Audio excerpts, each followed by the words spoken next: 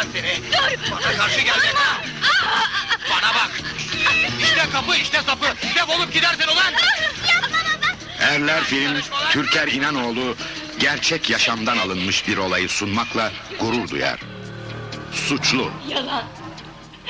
Vallahi yalan söylüyor. Ben terörist falan değilim. Geçinemedik ayrıldık. Sarhoşluğundan, dayağından boşandım. Bırak! Çekil! Yorgunum, canım çıkıyor. Her gece olur mu? Olur. toplumun dışladığı iki gencin büyük aşkı. Hayatta senden başka güveneceğim kimse kalmadı. Güven bana. Gideceğiz buralardan. Bu kabus sona erecek korkma. Seni çok seviyorum. Ben de. Suçlu, Biraz evvel üç gündür beraberiz diyordun. Boşanalı altı ay on dört gün olmuş. Konuş! Yeter! Yeter bırakın! bu filmde bir kadının çiğnenen onuru adına yaptığı savaşın inanılmaz öyküsü. Suçlu, O rezil resimleri sen çektin. O yalan haberleri sen yazdın. Sakin ol amacım sana yardımcı olmak. Çek elini be. Bu filmi ünlü yapımcı Türker İnanoğlu filmi aldı. Usta yönetmen Osman Fahir Seden yönetti. Ömer'imi, Nazlı'mı, Ağlama. Güçlü olmalısın. Onların istediği bu. Yıldırmak, ezmek. Ama yılmayacaksın. Ezilmeyeceksin.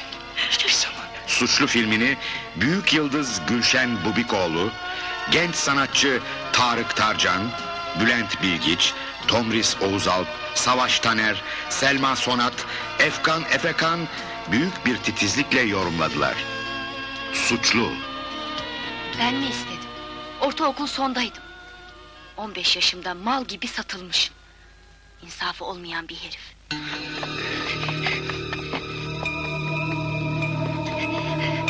Buraya gelmemeliydin Fatma. Seni yalnız bırakamazdım. Miydin artık bu kabus bitecek diye? Artık çok geç. Hayır değil. Geçin lan şuraya. Çocukları da zehirledin. Şirket karı. Ne olursa Bu filmde yanlış bir evliliğin kurbanı olan, onuru için, evlatları için baş kaldıran bir kadının gerçek dramını izleyeceksiniz. Suçlu. Hiç utanma yok mu sende? Evli bir erkeğin peşine takılıp gelmişsin buraya. Bu filmde yalnız bırakılmış bir kadının toplumdan yediği tokadı, çektiği acıları izleyeceksiniz. Suçlu. Türk sinema tarihine geçecek bir yapıt. Suçlu. Suçlu.